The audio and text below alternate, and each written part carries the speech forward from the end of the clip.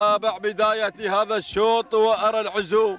أرى العزوم اللي معزمة منذ البداية لانتزاع ناموس هذا الشوط يقدمها ناصر بن مصبح من علي بن حسن الشامسي. ينطلق بتحديات العزوم تليها مع المركز الثاني. انطلاقة أسياد لمحمد بن خليفة بن مايد. المسافري ولكن أرى التسلل من الجانب الآخر. ومن الزاوية الأخرى أرى هناك الوهيب. لغيث بن علي بن محمد الينيبي مقدم الوهيب مع المركز الثالث المركز الرابع. تحديات الحقة بشعار عيسى بن خلفان بن شاوي الغفلي بينما إذا انطلقنا مع المركز الخامس نتابع الظبي نتابع الظبي لعلي بن محمد. من حريك المنهالي ومع المركز السادس. يصل أيضا يتقدم شعار سعيد بن راشد بن حمد بن غدير. الكتبي على ظهر منصب ومع المركز السابع القدوم والتسلل والانطلاق مع الطيارة للسلطان بن علي بن سلطان بن رشيد. الكتبي سابع الانطلاقات سابع التحديات. القدوم والتسلل في هذه اللحظات نتابع عتاب لمبارك بن هضبان بن مبارك العامري ومع المركز التاسع تتقدم تنطلق نوادر لسالم بن عبيد بن حلوس بن ذيبان العامري ومع المركز العاشر. المركز العاشر. تحديات أيضا تقدم الواعيه بشعار أحمد بن سالم بن دري. الفلاحي هذه النتيجة. هذه النتيجة مشاهدينا. متابعينا الكرام للعشر المراكز المتقدمة في هذا الانطلاق وبهذا الاندفاع المتميز. أول أشواط هذا الصباح. يا هل ترى وين تتجه السلامات مع هذا الانطلاق المتميز؟ وارى هني الصدارة مع العزوم مع العزوم معزمة معزمة معزمة مع هذا الانطلاق المتميز. لاهداء ناموس هذا الشوط لمالك ناصر بن مصبح بن علي بن حسن الشامسي. بدات تنفرد بدات تنفرد بناموس هذا الشوط ولكن الطيارة الطيارة مع المركز الثاني تتقدم تتسلل أيضا بخطى ثابته لانتزاع ناموس هذا الشوط بهذا الانطلاق المتميز. سلمان بن علي بن سلطان بن رشيد الكتبي مقدما منطلقا لتحديات الطيارة. المركز الثالث أسياد لمحمد بن خليفة بن مايد المسافري ومع المركز الرابع. وصلت الأسامي وصلت الأسامي وصلت الشعارات. تحديات عتاب بشعار مبارك بن هضبان العامري ومع المركز الخامس. القدوم والتحديات مع نوادر للسالم بن عبيد بن حلوس العامري. المركز السابع.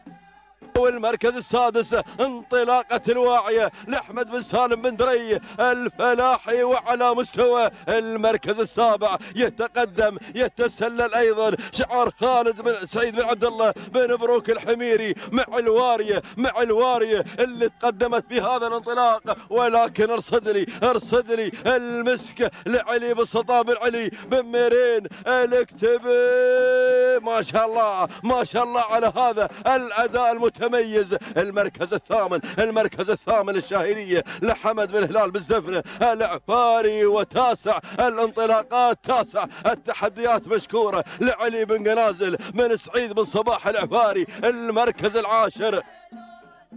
التقدم في هذه اللحظات مع الهبيبة علي بن مسفر الخيالي يتابع يتابع الهبيبة ولكن بنعود مع الصدارة نتابع البداية والتغيير. التغيير اللي طرى وجرى على المقدمة. الطيارة قادة المجموعة قادة المجموعة. سلمان بن علي بن سلطان بن رشيد الكتبي يقدم يقدم الطيارة. أهالي العوير أهالي العوير ينطلقون يحتفلون حتى هذه اللحظات بالأداء المتميز ولوحة الإعلان لوحة الإعلان لوحة الألف والمئتين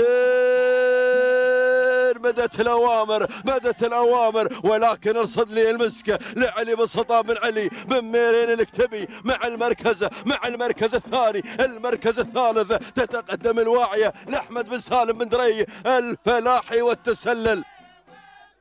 مع الذهيبة مع الذهيبة اللي تسللت في هذه اللحظات مع المركز الرابع مع المركز الرابع يقدمها عويض بن حمد بن سهيل العامري.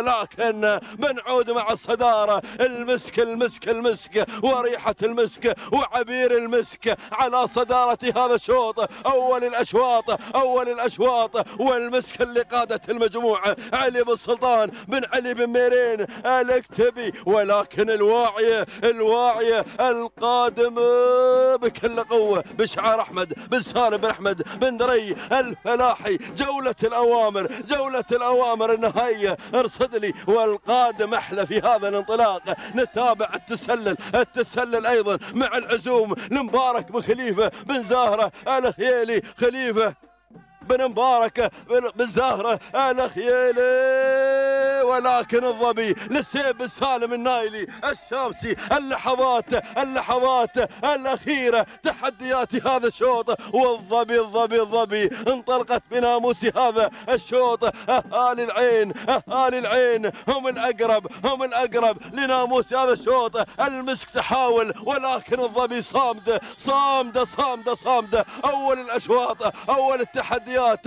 يتجه يتجه ناموس هذا الشوط مع الظبي مع الظبي تهانينا للسيب السالم النايلي. الشامسي على فوز الظبي وسلامات لاهالي العين المركز الثاني المسك لعلي بن بن ميرين. المركز الثالث جاءت أيضا نشوه لراشد بن محمد بن راشد الغفري المركز الرابع بن مبارك بن زهرة الخيلي ومع المركز الخامس انطلاق أيضا وتحديات الذيبه لكردوس بالدودة بن سالمين العامري. هذه النتيجة مشاهدينا متابعينا الكرام لمراكزنا الخمسة المتقدمة. لنا عودة مع التوقيت الزمني ولحظات وصول الظبي. جاءت بتوقيت زمني مقداره سبع دقائق 30 ثانية. ست أجزاء من الثانية. تهانينا للسيب السالم النايلي الشامسي المسك. تصل مع المركز الثاني. قدمت أيضا أداء متميز في هذا الانطلاق.